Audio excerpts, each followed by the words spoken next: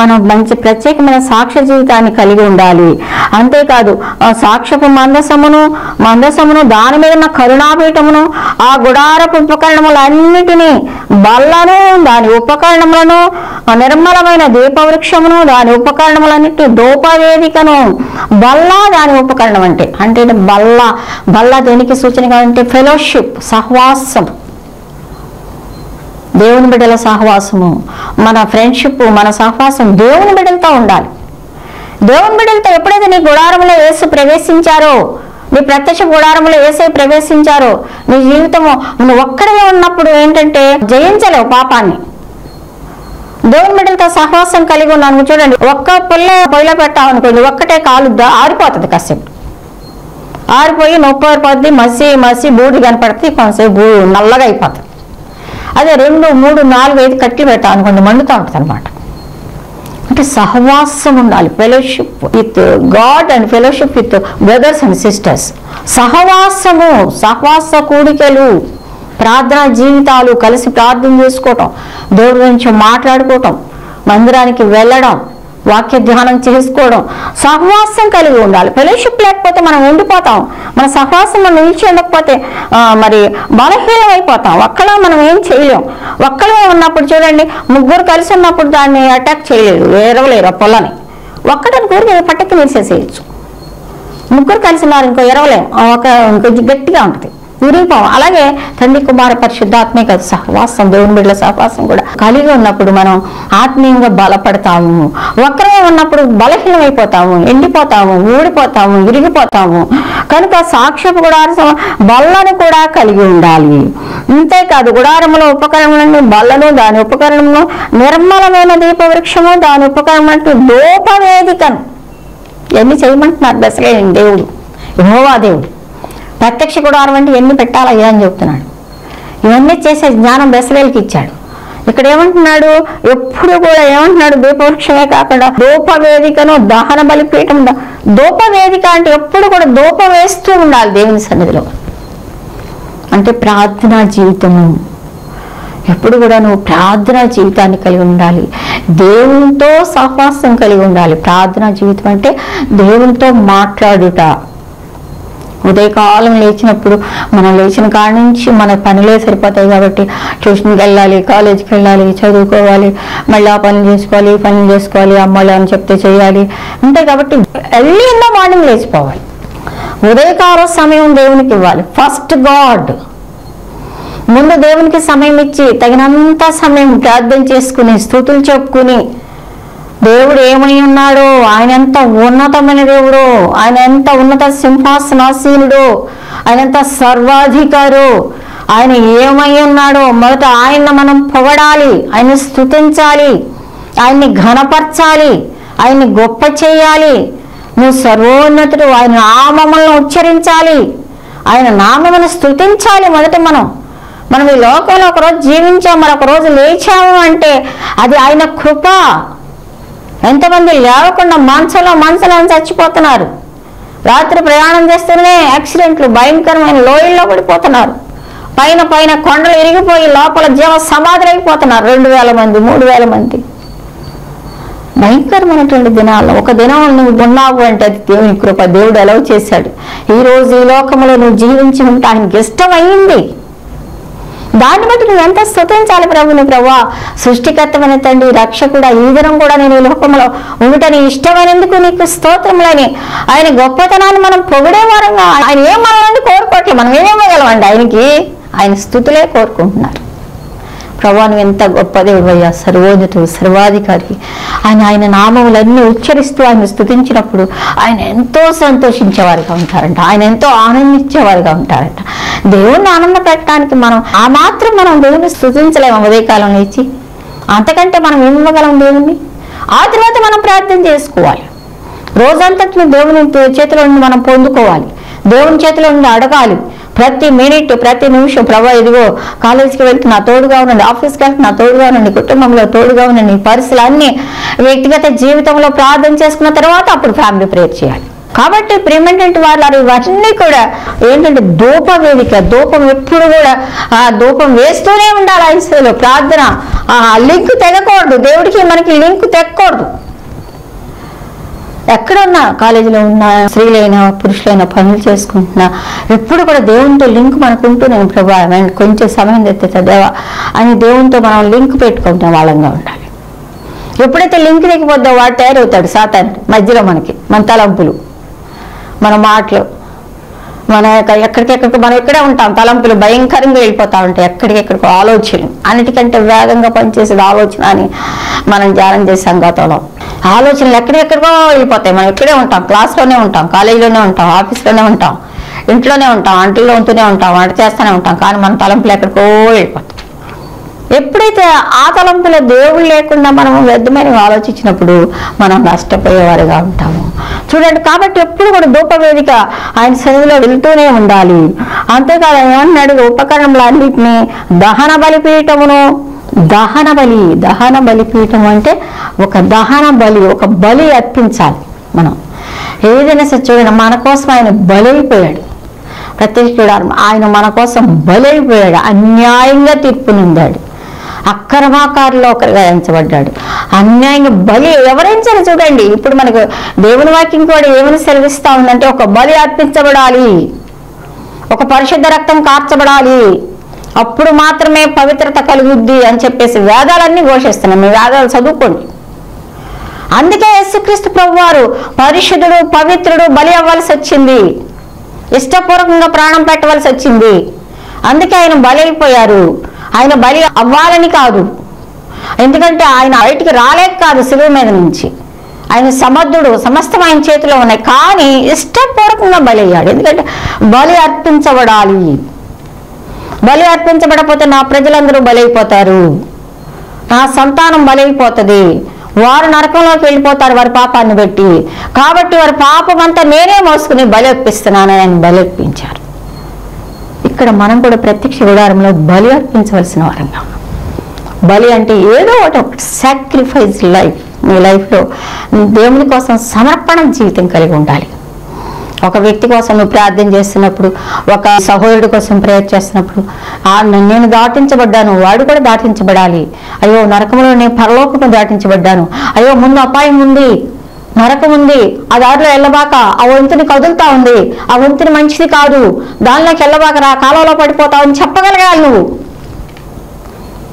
ఎందుకంటే నువ్వు దాటొచ్చావు అవతలకి. నీకు తెలుసు. ఏసు అంటే ఏంటో తెలుసు. రక్షణ ఏంటో తెలుసు. నెక్స్ట్ లైఫ్ ఏంటో మీకు తెలుసు. దేవుడు నీకు తెలియజేశాడు. కానీ తెలియని వాళ్ళు ఎంతోమంది ఉన్నారు. ఆ ఏముంది వాళ్ళు సామాన్యంగా తీసుకుంటున్నారు కానీ చాలా అపాయకరమైన జీవితం ముందుంది. అన్న విషయం తెలిసినప్పుడు నువ్వు మెదలకుండా ఉండకూడదు. సాక్రిఫైస్ చేయాలి. దహన బలి అంటే అది. మన ప్రభు ఏ విధంగా ఆయన పరమును వీడి లోకానికి వచ్చి పరముడు పరిశుద్ధుడు పరిశుద్ధుడు పరిశుద్ధుడు గాన ప్రతి గానములు చేయవలసినప్పటికీ దానిని వదిలి ఈ లోకానికి నీవలే నావలే సంపూర్ణ దేవుడుగా సంపూర్ణ మానవుడిగా వచ్చి ఎలాగ బలి అయిపోయారు. అలాగే మనం కూడా జీవించున్నది ఆ, క్రీస్తు మాత్రమే. నాలో బ్రతుకుట క్రీస్తే చావైతే లాభము అంటాడు పాపం. క్రీస్తు కోసం మనం బ్రతకాలండి. ఇంకా మనకేంటి మనకి అసలు అలానే ప్రభు మమ్మల్ని కోరుకున్నప్పుడు ఆయన మా పాస్టర్ గారు లెక్చరర్ ఉద్యోగానికి నేను టీచర్ ఉద్యోగానికి రాజీనామా పెట్టి ఎవరి కాలంలో థర్టీ వన్ ఇయర్స్ అప్పుడు నైన్టీన్ నైన్టీ వన్లోనే మా జీవితాలకు రాజీనామా పెట్టి మీ చిన్న జీవితాలను మన నాకు అర్పించండి. నా ప్రజలు ఎంతోమంది నశించిపోతున్నారు వాళ్ళకి సువార్త చెప్పాలి మీరు అని చెప్పినప్పుడు ఓకే ప్రభు అంతకంటే భాగ్యమే ఉంది మమ్మల్ని కోరుకున్నామని మా జీవితాలు ప్రభు సమర్పించుకున్నాం. దాన బలిగా ఆయనకు అర్పించాం. ఇది నా ఎన్నో చోట్లకి వెళ్ళి సువార్త సేవ చేస్తూ పాస్టర్ గారు మరి ఇన్ని ఆంధ్ర రాష్ట్రమే కాదు భారతదేశంలో అనేక ప్రాంతాలకు వెళ్ళి క్రీస్తుని గురించి చెప్పే భాగ్యం దేవుడు మాకు ఇచ్చాడు ఎంతో మంది నరకం నుండి పరలోకం దాటించడానికి కృప ఈ దినాల్లో మనమే ఏజెంట్స్ మనమే ఆయన ప్రతినిధులం. ఆయన చేశారు వెళ్ళారు. పరలోక రాజ్యంలో మన కోసం విజ్ఞాపన చేస్తున్నారు. ఇప్పుడు మనం చేయాలి మనది బాధ్యత. ఆయన మనల్ని పెట్టుకున్నాడు ఇక్కడ. బెసలేలాగా ఇదిగో నువ్వు ప్రత్యక్ష గుడారం తయారు చేయి ఇలా చేయి ఇలా చేయి అని చెప్పినట్టుగా ఇది నా బెసలేలను ఏర్పాటు చేసుకున్నట్టుగా మనం ఏర్పాటు చేసుకున్నాడు. నీకు రక్తం ఇచ్చి ప్రాణం ఇచ్చి నిన్ను కొన్నాడు ఇక్కడ పెట్టాడు నీ కాలేజీలో పెట్టాడు నీ ఆఫీస్లో పెట్టాడు నీ ఇంట్లో పెట్టాడు నీ ఊర్లో పెట్టాడు నీ గ్రామంలో పెట్టాడు నీ దేశంలో పెట్టాడు. మనం ఎంతవరకు సమర్పణ జీవితాన్ని కలిగి ఉన్నాం? సమర్పించుకోవాలి కొంత సమయం. సిగ్గు విడిచి వాళ్ళకి చెప్పాలి మనం వేసే దేవుడిని. అలా ఈ కులం అనుకుంటారేమో ఆ కులం భక్తులు అనుకుంటారేమో. మనం సిగ్గు సువార్త విషయమైన నేను సిగ్గుపడు వాడిని కాను అంటున్నాడు పౌలు. మనం సిగ్గుపడకూడదు. మన ప్రభు మన గురించి సిగ్గుపడితే మన మన పరిస్థితి ఎలా ఉన్నది ఇవాళ? కనుక ప్రేమేంటంటే వాళ్ళరా మనం కొంత సమర్పించుకోవాలి. ఇతరుల కోసం వాళ్ళ కోసం ప్రార్థన చేయడానికి ఉపవాసం ఉండాలి కడుపు కట్టుకోవాలి ఒక ఆత్మ రక్షణ పొందాలి అంటే ఒకనాటి ప్రసవ వేదన చాలున ఒక జనం రక్షించబట్టాకని దేవుడు అడుగుతున్నాడు. చాలు. ఉపవాసముతో మనం ప్రార్థించాలి. వాళ్ళ రక్షణ కోసం మన కుటుంబ సభ్యులైనా మన భర్త అయినా మన భార్య అయినా మన బిడ్డలైనా మన రక్త సంబంధులైనా మన కాలేజ్ మేట్స్ అయినా మన క్లాస్లో మన బెంచీలో మన వెనక మన క్లాస్లో ఎంతమంది ఉంటున్నారు? నేను చాలాసార్లు చెప్పాను గతంలో కూడా రిపీటెడ్గా మా క్లాస్లో నేను ఎందుకు పనికిరాదానిలా చూసేవారు? దేవుడు నమ్ముకున్నారా అందుకు మరి అక్కడ కూర్చొని మౌనంగా ఉంటుంది. అవును కానీ వాళ్ళందరి కోసం నేను ప్రార్థన చేశాను పేమెంట్ అంటే వాళ్ళారు నేను మళ్ళీ మీకు సాక్ష్యం చెప్తున్నా. అందరి కోసం పేర్లు రాసి ప్రార్థన చేసేదాన్ని. నేను నేను చెప్తున్నాను దేవుడు వింటున్నాడు పరలోక రాజ్యంలో మీరు చూస్తారు. చాలా మంది రక్షణ పొందారు అందుకు సావుకులయ్యారు. నా ప్రార్థన ఇప్పుడు కూడా వృధా కాదు. కనుక ఇక్కడ అంటున్నాడు సాక్ష్యం దహన బలిపీఠం దాని ఉపకరణాలు గంగాళము. గంగాళము అంటే ఇది శుద్ధి చేసే ప్లేస్. గంగాళం ఎక్కడ ఉంటుంది బయట. అది కడుక్కుని లోపలికి రావాలి. అంతే కదా ఆ బకెట్లో నీళ్ళు కడుక్కుని లోపలికి వస్తాం. మనకి ఇప్పుడంటే మనకి సిటీస్లో అది లేదనుకోండి మన గ్రామాల్లో అయితే బయట కాలు కడుక్కొని లోపలికి రావాలి. గంగాళము అంటే శుద్ధి చేసేది శుభ్రం చేసుకుని దేవుడికి నీకు ఏదైనా సరే అడ్డుంటే దేవునికి నీకు ఏదైనా సరే ఏ పాపమైనా సరే దేవుని వాక్యం సెలవిస్తా ఉంది చూడండి. మొదటి యోహాను పత్రిక మూడో అధ్యాయము ఇరవై వచనం చూసినట్టే దేవుడు మన హృదయముల కంటే అధికుడై సమస్తమును ఎరిగి ఉన్నాడు గనుక మన హృదయము ఏ ఏ విషయములలో మన ఎందు దోషారోపణ చేయును ఆయా విషయములలో ఆయన ఎదుట మన హృదయములను సమ్మతిపరచుకుందము. ఎవరు చెప్పక్కర్లా మనకి? నువ్వు ఇది చేసావు నువ్వు అది చేసావు అని ఎవరు చెప్పక్కర్లా? మన హృదయమే మనం ఎన్నారు ఆరోపణ చేస్తాం? ఏ ఏ విషయం మన హృదయముల కంటే అధికుడై ఉన్నాడు దేవుడు. మనం ఏం చేస్తున్నాం ఏంటి అని తెలియదా ఆయన నిన్ను దగ్గర నుంచి మన తలంపు మన దగ్గరికి కాబట్టి ఇప్పుడు ఏమిటంటే వాళ్ళు ఇక్కడ ఏమంటున్నారంటే ఏ గంగాళం గురించి మనం మాట్లాడుకుంటున్నాం? శుద్ధి చేయుట. అక్కడ గంగాళం దగ్గరికి కూడా సిద్ధపరచమన్నాడు బెసలేని అంటే శుద్ధిపరచుకోవాలి మనం. దేవుని దగ్గరికి గుడారములో ఆయన ఉన్నారు కనుక మనం శుద్ధి చేసుకోవాలి. మిమ్మల్ని కడుక్కొనడి మిమ్మల్ని శుద్ధి చేసుకొనడి. మీ దుష్క్రియలు నాకు కనబడకుండా వాటిని దూరముగా తీసుకువేయడి అని చెప్పి రష్యా గ్రంథంలో కూడా భక్తుడు సెలవిస్తా ఉన్నాడు. కాబట్టి మన హృదయం ఏ ఏ విషయంలో దోషారోపణ చేయను ఆయా విషయంలో ఆయన ఎదుట మనం మన హృదయం సమ్మతి పరుచుకుందాం. మనం మోకరించి ప్రార్థన చేస్తున్నప్పుడు నువ్వు ప్రార్థన చేయటానికి మోకరిస్తున్నప్పుడు వెంటనే నీటిగా తెలిసిపోతుంది ఏ ఏ విషయాలు నేరారోపణ ఇప్పుడు దాకా నువ్వు చేసి వచ్చిందేంటి ఇప్పుడు ప్రార్థన చేస్తున్నావు. ఇప్పుడు దాకా నువ్వు తిట్టొచ్చింది ఏంటి? ఇప్పుడు దాకా అరిసింది ఏంటి? ఇప్పుడు దాకా మాట్లాడింది ఏంటి? ఇప్పుడు దాకా నువ్వు చూసింది ఏంటి? ఇప్పుడు దాకా చేసింది ఏంటి మన హృదయమే నేరారోపణ చేస్తుంది. ఎవరు మనం చెప్పక్కల? ఎప్పుడైతే నేరారోపణ చేస్తే ప్రభా మనం ఒప్పుకోవాలి విడిచిపెట్టుకోవాలి మళ్ళీ అలా చేయకుండా ఉండాలి. అది గంగాళం అంటే శుద్ధి చేసుకునే స్థలము పరిశుద్ధ స్థలము. ఇవన్నీ కూడా ఉన్నప్పుడే మన గుడారము శుద్ధిగా ఉంటుంది. మన గుడారములో ఆయన జీవిస్తారు. మన గుడారములో ఆయన నివసిస్తారు. మన పరిశుద్ధ గుడారము. ఇది కదులుచున్నటువంటి మందిరము. ఇది కదులుచున్న దేవాలయము. ఈ దినాల్లో మనం కదులుతూ మాకు దేవాలయం లాగా మన దేవుణ్ణి అనేకులకి ప్రజెంట్ చేసేవారమే కాకుండా మన జీవితాలను ఆయనకి ఇష్టమైన రీతిగా మనం జీవించినప్పుడు ఆయన సంతోషించేవారుగా ఉంటారు. ఉపకరణములను దహన బలపీఠం ఉపకరణాలను గంగాలను దాని పీఠను యాజక సేవ చేయనట్లు సేవా వస్త్రమును యాజకుడైన అహరోను యొక్క ప్రతిష్ఠిత వస్త్రమును అతని కుమారుల వస్త్రములను అభిషేక తైలమును పరిశుద్ధ స్థలము కొరకు పరిమళ ద్రవ్యములను నీకు ఆజ్ఞాపించిన ప్రకారము వారు సమస్తమును చేయవాలి. అంతేకాదు దేవుడు మనం ఏం చేయమంటున్నాడు అదే చేయాలి. మన ఇష్టానుసారంగా చేయటానికి లేదు. మన జీవితాలు ఆయన కొనుక్కున్నాడు రక్తం ఇచ్చి ప్రారంభించి. కనుక మన జీవితాలు ఆయన చేతిలో పెట్టుకున్నప్పుడు ఆయన కొనుక్కున్నారు కనుక ఆయన ఇష్టమైన రీతిగా ఒక విధాన ఆయన సన్నిధిలో మనం సంతోషించలేదు బడా నమ్మకమైన మంచి దాసరా దాసరాలా నా ప్రియ బిడ్డ నేను ఇంత కొనుక్కున్నందుకు నా రక్తం ఇచ్చి ప్రాణం ఇచ్చుకుని నువ్వు నా కోసం చాలా నమ్మకంగా జీవించావు చాలా నాకు ఇష్టమైన రీతిగా జీవించావు అని.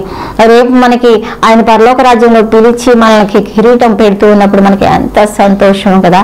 ఇవన్నీ మనం మర్చిపోతాం. మనం అందుకే క్షణమాత్రం ఉండేటువంటి ఈ యొక్క అల్పకాల పాప భోగముల కంటే క్రీస్తు విషయం నిందే గొప్ప భాగ్యం ఎంచుకొని ఆయన వైపు మనం చూసామని దశలేలు ఇంకా ఇంకా హోలియాబు వీళ్ళిద్దరూ కలిసి చక్కగా చేసినప్పుడు ఆయన ఎట్లా చెప్పారో అలాగే చేశారు. అంతేకాదు యాజకుల వస్త్రాలు కూడా అంట ఇల్లు ఇల్లు తయారు చేయటానికి అవకాశం యాజకుల వస్త్రాలు యాజకుల వస్త్రాలు ఆ కుమారుల వస్త్రాలు. చూడండి ఎంత ఆధిక్యత ఇచ్చాడు. ప్రేమేంటంటే వారు యాజకులైన వారు ప్రత్యేకమైనటువంటి వస్త్రములు కలిగి ఉండాలి. మనం ఒక బోధ చేస్తున్నాం యేసుక్రీస్తు ప్రభువుని గురించి మనం వివరిస్తున్నాము అంటే దేవుని సేవకులను ప్రత్యేకమైన జీవితాలు మనం కలిగి ఉండాలి. ప్రత్యేకమైన వస్త్రధారణ. ప్రభు మనలో నుండి ఉట్టిపడేలాగా ఓ ఈ క్రీస్తు బిడ్డలు అనుకుంటాను అది మనం అని చెప్పక్కల సాక్ష్యం మనం చూసినప్పుడే వాళ్ళకి తెలిసిపోతుంది. మన వస్త్రధారణ మన పద్ధతి మన మన ఇది అంతా కూడా. ఆ యాజకుల వస్త్రాలను కూడా తయారు చేయం. యాజకుల బిడ్డల వస్త్రాలు కూడా. యాజకుల కుమారుల వస్త్రాలు. అంటే దేవుని సేవకులే కాదు దేవుని సేవకుల పిల్లలు కూడా. చాలా జాగ్రత్తగా మనం పెంచుకోవాలి పిల్లల్ని. లేకపోతే దేవునికి అవమానం. మన సేవ ద్వారా మన మందిరం ద్వారా. సేవకులు ఆ మాస్టర్ గారు అలా మాస్టర్ గారు వెళ్ళాలి అసలు మరీ ఘోరం అండి అనేటట్టుగా మనం ఉండకూడదు మన బిడ్డలు. మరి కాబట్టి ఇప్పుడు ఏంటంటే వాళ్ళ మనం అన్ని విషయాలు కూడా ప్రతి విషయంలో పోవాలంటే ప్రతి మాట విషయంలో క్రియ విషయంలో ఏ విషయంలో సరే తప్పిపోకుండా చూసుకోండి. కనుక బెసలేలు ఇటువంటి ఇంత మంచి దేవుని యొక్క ఉపకరణముగా ఉపకరణాలన్నీ చేయటంలో కూడా చాలా ప్రధానుడుగా ఉన్నాడు. కనుక నేను ఆజ్ఞాపించిన ప్రకారంగా నేనేం చెప్పానో అదే చేయండి.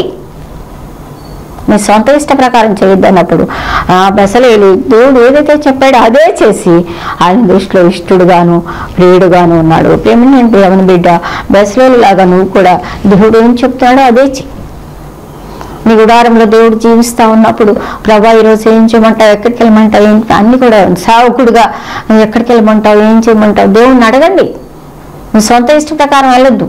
విజయ్ కుమార్ గారు మా వారు విజయ్ కుమార్ గారు దేవుడు చెప్తేనే వెళ్ళేవారు అంతే దేవుని చెప్పకపోతే పలానా వాళ్ళు మీటింగ్ ఏర్పాటు చేశామండి అన్న రండి మీరు అంటే నేను దేవుని అడిగి చెప్తా అనేవారు. ఏంటి దేవుని అడిగి చెప్తానంటే నేను మీటింగ్ పిలుస్తా అనుకునేవాళ్ళు. కానీ దేవుడు చెప్పకపోతే ఆ ఊరు వద్దంటే మానేసేవారు. ఏదో కూడా చెప్పేసేవారు. నేను రావట్లేదండి నాకు బాగాలేదు ఇంకో చోట ఉంది ఏదో చెప్పేసేవారు. ఏంటన్నా మీరు మీటింగ్ రమ్మంటే రావట్లేదు. దేవుడు చెప్పాలి మనకి ఏదైనా సరే. ఓ రోజు రాత్రి మేము ఒక గ్రామం వెళ్ళాం అక్కడ చాలా మీటింగ్ బాగా జరుగుతుంది. అప్పటికే త్రీ డేస్ నుంచి గ్రామం పెద్ద గ్రామాల ప్రజలంతా వచ్చి కూర్చుంటారు. బాగా జరుగుతుంది మీటింగ్. జరుగుతుంది కానీ భయంకరంగా పాటలు పాడటం వాక్యాలు చెప్పడం ఎవరికి ఏమి ఆత్మకార్యం జరగట్లేదు అది మెయిన్ పెద్ద పెద్ద దైవసేవకులను పిలిచారు రెండు రోజులు బాగా మాట్లాడారు. మూడో రోజు ఇంకా విజయ్ కుమార్ గారు కూడా మేము కూడా మాట్లాడేసాం. సాక్ష్యం వాక్యం అయిపోయింది. తెల్లారికి వెళ్ళిపోవాలి. వెళ్ళిపోదామని అనుకుంటున్నాం. మేము అనుకున్నాం. మాకుంది ఇంకా తెల్లారి కూడా. అనుకుని విజయ కుమార్ గారు ప్రార్థన చేస్తాను నేను వెళ్ళిపోతాను. అబ్బా అసలు ఇక్కడ ఏమి అంత అడావిడే కానీ దేవుని కార్యం జరగట్లేదు. దేవుని కార్యానికి అసలు వీళ్ళు ప్లేస్ ఇవ్వట్లేదు. ఎంత భయంకరంగా ఉంది. గ్రామం భయంకరంగా ఉంది. వద్దు వెళ్ళిపోతాను నేను అని చెప్పి. ప్రభు రాత్రి మాట్లాడారు. వెళ్ళొద్దు. ఇక్కడ నాకు గొప్ప జనం ఉన్నారు అని చెప్పేసి. రేపు నువ్వు మాట్లాడాలి అని. అంతే. ఇంకా వెళ్తానని సొంతకాడ వాళ్ళకి చెప్పేశారు అన్నాయన తెల్లారికి వెళ్ళటల్లా ఎందుకంటే దేవుడు వెళ్ళొద్దున్నానని చెప్పేసి. అప్పుడు ఆ తెల్లారి నిజంగా ప్రేమేంటంటే నెక్స్ట్ డే నైట్ మీటింగ్ జరిగింది. అంత బాగా పరిశుద్ధాత్మ దేవుడు దిగొచ్చి విజయ్ కుమార్ గారు వాక్యం చెప్తుంటే ఏడ్చి మనం రొమ్ము కొట్టుకుని ప్రార్థన చేసి చాలా ఊర్లో పెద్దలు భయంకరమైన మనుషులు. తాగి తందనాలాడి మరి అన్నీ చర్చి వెళ్ళర్సే అంత భయంకరంగా మరి జీవించేటువంటి వాళ్ళు ముందుకు వచ్చి తీర్మానం చేసుకున్నారు. అమ్మ పెద్దలే మాకంత పితరులు అవుతారు తాతయ్యలు అవుతారు పెద్దనాన్నలు అవుతారు మామయ్యలు అవుతారు అసలు వాళ్ళు మన మాటలతో మారరు. దేవుని ఆత్మ నాకు గొప్ప జనం ఉన్నారు ఇక్కడ. ఆత్మకార్యం నేను చేస్తాను అన్నప్పుడు వాళ్ళందరూ చక్క రక్షణకు ముందుకొచ్చి ఏడ్చి ప్రార్థన చేసుకున్నారు. అల్లుడు అనుకోలే పాస్టర్ గారు కదా దేవుడు మాట్లాడాడు మాతో. ముందుకొచ్చి ఏడ్చి ప్రార్థన చేసుకుని దేవుని తీర్మానం చేసుకున్నారు. తర్వాత కొన్ని సంవత్సరాలకే వాళ్ళు చనిపోయారు. మాకెంతో ఆనందంగా ఎందుకంటే దేవుని నమ్ముకున్నారు. అంతకుముందు ఎన్ని సంవత్సరాల నుంచి క్రైస్తవ జీవితంలో ఉన్నప్పటికీ నామకాత క్రైస్తవ జీవితంలో ఉండి భయంకరంగా తాగుతూ పది మాసాలు తింటూ భయంకర జీవితాలు జీవిస్తూ ఉండేవారు. కొట్టుకునేవాళ్ళు ఈ రాజకీయాలు ఇవన్నీ. అలాంటిది కాకుండా దేవుని నమ్ముకుని ఎందుకు నేను చెప్తున్నానంటే దేవుడు అన్ని అడిగి మనం బోధించాలి. దేవుణ్ణి అడిగి మనం వెళ్ళాలి. ఆయన చెప్పింది మనకెందుకు? ఆయన చెప్తే ఆయన పైన ఆయన చేసుకుంటాడు. ఆయన చెప్తే వెళ్ళాలి ఎంత కష్టమైనా వెళ్ళాలి అక్కడికి. గతంలో కూడా చెప్పాను భక్సింగ్ గారు నిద్రపోతున్నారట రాత్రి మూడు గంటలు గట రెండే. లేచి వెళ్ళు రైల్వే స్టేషన్కి వెళ్ళు అన్నారంట. జైన్ ప్రభా ఇప్పుడే కదా పడుకున్నాను. ఇప్పుడు రైల్వే స్టేషన్ జైన్ ప్రభా రెండు గంటలకు కావాలంటారు అక్కడ. వెళ్ళు వెళ్ళమన్నాను కదా. అప్పుడు రెండు గంటలకి ఒక ఆవిడ చనిపోటాకి పట్టాల దగ్గరికి పరిగెత్తుకుంటా వస్తుందంట. ఒక లేడీ. అప్పుడు ఈయన ఇల్లు పరిగెత్తుకుంటే అదిగో అమ్మాయి చనిపోతాక వస్తుంది నువ్వు దేవుని ఆత్మ టీచ్ చేస్తే ప్రేమన్నట్టు వారు దేవుని ఆత్మ దినాలు దినాలు నేను మీకు చాలాసార్లు చెప్తున్నా. యేసుక్రీస్తు ప్రభావం ఇచ్చారు సిలువు కార్యం చేశారు మరణించారు తిరిగి లేచారు పరలోకానికి వెళ్ళారు విజ్ఞాపన చేస్తున్నారు. ఆదరణకర్త ఆత్మను మనకు పంపించారు. ఆత్మదేవుని దినాలు ఇవి. ఆత్మదేవుడిని మనం గైడ్ చేస్తాడు. యేసుప్రభు చెప్పినట్టుగా ఆ దినాలు సంచారం చేసి యేసుప్రభు చెప్పినట్టుగా ఈ దినాలు ఆత్మదేవుడు మనకు చెప్తాడు. ఆ చెప్తాడా అని చెప్తారు. గైడ్ చేస్తారు. ఆత్మచేత నింపబడి ఉన్నప్పుడు మనం గైడ్ చేస్తారు మనకు చెప్తారు. మనకు టీచ్ చేస్తారు. చెప్పారంట అది అమ్మాయి వెళ్తుంది. రైలు పట్టాకని పడతాపని అప్పుడు దేవుని ఆత్మ చెప్పినప్పుడు వెళ్ళినప్పుడు అమ్మ అమ్మ ఏంటి ఇక్కడికి వచ్చారు? ఏంటి అర్ధరాత్రి టైం అంటే. నాతో నీకేం పని? నువ్వు వెళ్ళిపో నా పని ఉందని అందంట లేదమ్మా దేవుడు చెప్పాడు నాకు నీ గురించి "ఆ, దేవుడు చెప్పాడా? నువ్వు చనిపోవాల్సిన పని లేదమ్మా. నీకోసం ఉన్న దేవుడు చనిపోయాడు. ఎందుకు చనిపోతున్నారు? అని ఆయన తీసుకొచ్చి వాక్యం చెప్పి మందిరంలో కూర్చోబెట్టి మరి ఆమె చనిపోలేదు సరే కదా దేవుడిని నమ్ముకుని ఆమె ఒక మొదటి విశ్వాసిగా ఆ సంఘంలో ఉంది. ఏమిటంటే వాళ్ళ ఎందుకు చెప్తున్నారంటే దేవుడు చెప్తే మనం చేయాలంతే. దేవుడు చెప్పండి మనం ఎందుకు? దేవుడు చెప్పండి మనకు దేవుడు ఏం చెప్తాడు? వెయిట్ చేయాలి.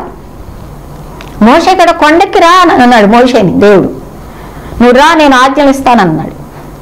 పైకి వెళ్ళాడు నలభై రోజులు వెయిట్ చేసి వెయిట్ చేసి నలుగురి దినములు రాత్రులు పగలు ఉపవాసంతో ప్రార్థన చేస్తున్నాడు. సావుకులారా మీరు పైకి వెళ్ళాలి కొండ మీద అనుభవం మనం కలిగి ఉండాలి. పైకి వెళ్ళాలి అంటే ఒంటరిగా వెళ్ళాలి ఎక్కువ వెళ్ళే అనుభవం ఉండాలి దేవుసంలో ప్రార్థన చేయాలి ప్రభా రేపు ఏం బోధించమంటావు ప్రభా ఈ ప్రజలకు ఏం చెప్పమంటావు? ఏం చెప్పమంటావు? ఏం ఆహారం ఇస్తావు ప్రభు వాళ్ళకి? మనం ప్రభుత్వం కనిపెట్టుకోవాలి. కనిపెట్టుకుని తీసుకొచ్చి ప్రజలకు అందించాలి. అలాగే చేశాడు కదా. కనిపెట్టి కనిపెట్టి పది ఆజ్ఞలు ఇచ్చే వరకు కనిపెట్టి అప్పుడు పది ఆజ్ఞలు తీసుకొచ్చి ప్రజలకు ఇచ్చాడు. అలాగే మనం కూడా ప్రేమించిన బెసవేలు కూడా అలాగ మంచి ఆ, దేవుని చేతిలో వాడబడినటువంటి వ్యక్తిగా ఉన్నాడు కనుక మనం కూడా దేవుని చేతిలో వాడబడేటువంటి ఆయన చెప్పినట్టుగా సామర్థ్యం కలిగిన నిపుణత కలిగిన పనివారముగా మనం ఉండాలని దేవుడు కోరుకుంటూ ఉంటున్నారు. కనుక అట్టు కృప దేవుడిని అనుగ్రహించుగా అంతేకాదు జ్ఞానం గురించి మనం మాట్లాడుకుంటూ వస్తున్నాం కదా. జ్ఞానం గురించి మాట్లాడుకుంటూ వస్తే మరి తర్వాత చూస్తే జ్ఞానం గల ధర్మశాస్త్ర దాత మోషే. ధర్మశాస్త్రాన్ని మనకు తీసుకొచ్చినటువంటి ధర్మశాస్త్ర దాత అన్నమాట. ఈ మోషే అనే ఆయనకి మరి నీటిలో నుండి తీయబడ్డారు కనుక ఇంక మోషే అని పేరు పెట్టారు. ఆమ్రామ కుమారుడు ఆమ్రామ్ గారి కుమారుడు ఈ మోషే. మరి కనుక ఇతను లేవి గోత్రం నుంచి వచ్చారు ఈ మోషే గారు. ఇస్రాయేలీల ధర్మశాస్త్రం నుండి తీసుకొచ్చేటువంటి గొప్ప దాత అనమాట కాబట్టి చూడండి మోష గురించి మనం చూసుకున్నట్టయితే అపుస్తుల కార్యము ఏడు ఇరవై రెండులో చూసినట్టే దేవుని వాక్యం ఏమనంటే మోష అగిప్తుల సకల విద్యలను అభ్యసించి మాటల ఎందునో కార్యముల ఎందునో ప్రవీణుడై ఉండెను. ఎందుకు మోషని మరి ఎందుకు మనం ఈరోజు మరి ధ్యానం చేయవలసి వస్తుందంటే మోష కూడా జ్ఞానం కలవాడు జ్ఞానం గురించి మనం మాట్లాడుకుంటూ వస్తున్నాం కదా. అంతేకాదు ఐగుప్తుల సకల విద్యలను మోషే ఐగుప్తుల సకల విద్యలను అభ్యసించి మాటలందు కార్యములందు కూడా ప్రవీణుడై ఉన్నాడంట. అంటే గొప్ప ప్రావీణ్యతను సంపాదించుకున్నటువంటి వ్యక్తి అనమాట కాబట్టే మోషే సకాల విద్యలు అభ్యసించాడు. ముప్పై రెండు పదిహేనులో కూడా చూస్తే ముప్పై రెండో అధ్యాయం పదిహేనో వచనంలో కూడా చూడండి. ఏమైనా మోషే శాసనముల రెండు పలకలు చేత పట్టుకొని కొండ దిగి వచ్చిన. మోషేకి చెప్పారు దేవుడు పైకిరా పైకి రా. ఈ ప్రజల్ని ఎలా పరిపాలించాలో నేను నీకు ఆజ్ఞలు ఇస్తాను. పది ఆజ్ఞలు ఇస్తాను. నువ్వు తీసుకెళ్ళి ఇస్రాయేల్ ప్రజలకు పంచిపెడుతూ కానీ ఇద్దు కానీ నేర్పిద్దు కానీ మరి ఆ ప్రకారంగా ప్రజలు మరి మంచిగా నడవడానికి అవకాశం ఉంటుంది. కాబట్టి మోషే నువ్వు పైకి రా అని అన్నారు. అలాగే దేవుని మాట ప్రకారంగా మోషే కొండ మీదకి వెళ్ళారు. అప్పుడు చూడండి పదిహేను వచ్చిన ముప్పై రెండు పదిహేను. మోషే శాసనం రెండు పలకలను చేత పట్టుకొని కొడ దిగి వచ్చాను. ఆ పలకలు ఇరు ప్రక్కలను రాయబడినవి అవి ఈ ప్రక్కను ఆ ప్రక్కను రాయబడినను ఆ పలకలు దేవుడు చేసినవి. ఆ పలకల మీద చెక్కబడిన వ్రాత దేవుని చేవ్రాత. బా ఎంత గొప్ప దేవుడండి. ఆయన చేతితో రాసిచ్చాడు ఆజ్ఞలు. వాటిని తీసుకురాటానికి ఇక మోష గారు వెళ్ళారనమాట వెళ్ళి ఇక్కడ తీసుకుని వచ్చి మరి దేవుని యొక్క వాక్యాన్ని దేవుని యొక్క వీటిని మన ఆజ్ఞలను చక్కగా ఈ ప్రజలకు వివరిస్తూ బోధిస్తూ ఉన్నాడు. చూడండి నిర్గమాకాండం ఇరవై నాలుగు పన్నెండులో కూడా చూసినట్టుగా అప్పుడు యహోవా మోషేతో ఇట్లను నువ్వు కొండ ఎక్కి నా ఎద్దుకు వచ్చి అచ్చట నుండుము. నీవు వారికి బోధించటకు నేను ఇస్తానని చెప్పారు కదా. అవి తీసుకుని వెళ్ళడానికి వెళ్ళారు. అవి తీసుకుని ముందుకి వస్తున్నారు. వచ్చి మన యొక్క ప్రజలకు పంచిపెట్టడానికి ఇవ్వడానికి సిద్ధంగా ఉన్నారు. ద్వితీయోపదేశ కాండము నాలుగు పదమూడులో చూస్తే మరియు మీరు చేయవల్లని ఆయన విధించిన నిబంధనను అనగా పది ఆజ్ఞలను మీకు తెలియజేసి రెండు రాతి పలకల మీద వాటిని వ్రాసెను.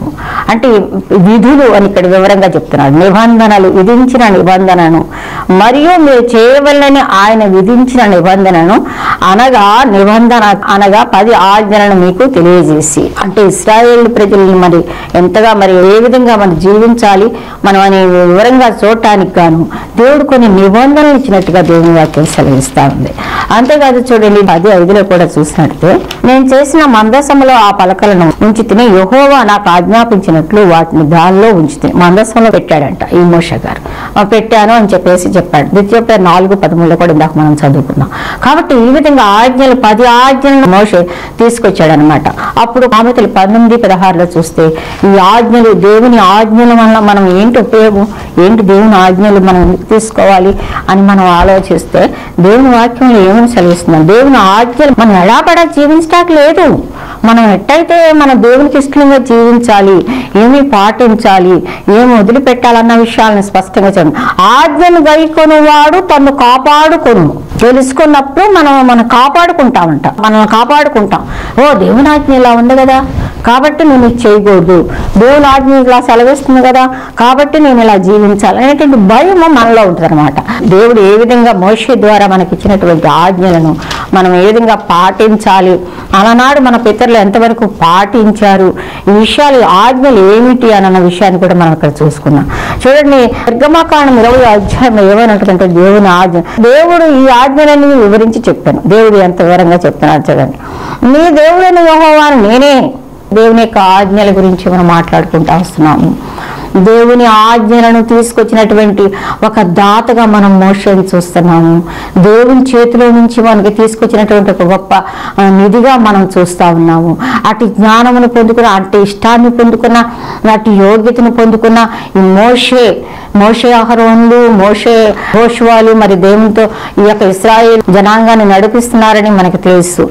ఒకసారి మనం జ్ఞాపకం చేసుకున్నాం అలా వెళ్తున్నప్పుడు వెళ్ళి పది ఆజ్ఞలను తీసుకుని కిందకు వచ్చారు.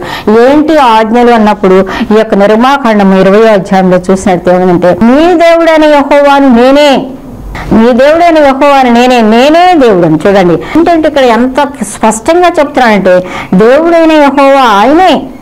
ఆయన తప్ప ఇంక వేరే దేవుడు లేడు. క్రిమింటేంటి వాళ్ళారా మరొకసారి లోకమంతటికి కూడా మేము చెప్పే సువార్త ఏంటంటే యేసుక్రీస్తు ప్రభు నిజమైన దేవుడు. ఆయన తప్ప వేరే దేవుడు లేడు. ఎందుకంటే ఆయనే దేవుడు ఆయనే సృష్టికర్త ఆయనే రక్షకుడు. ఆయన అనుకున్నారు నా రూపంలో తన రూపంలో తన స్వరూపమందు నరుని సృజించెను. నరులు మనం ఎలా ఉన్నామంటే దేవుని రూపంలోనే ఉన్నాం. మన దేవుడు ఎలా ఉంటాడంటే మనలాగే ఉంటాడు.